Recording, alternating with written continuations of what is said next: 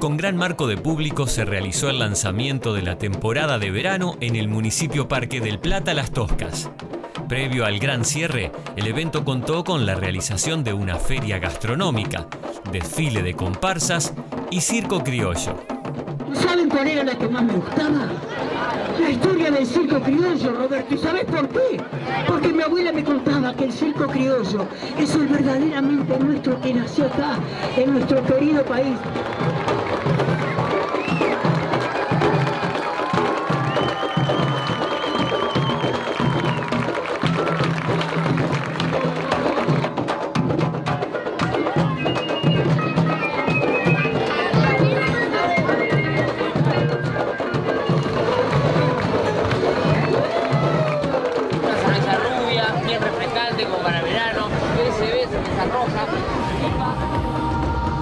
El cierre fue con el espectacular sonido y color que dio el show Aura de Emil Montgomery,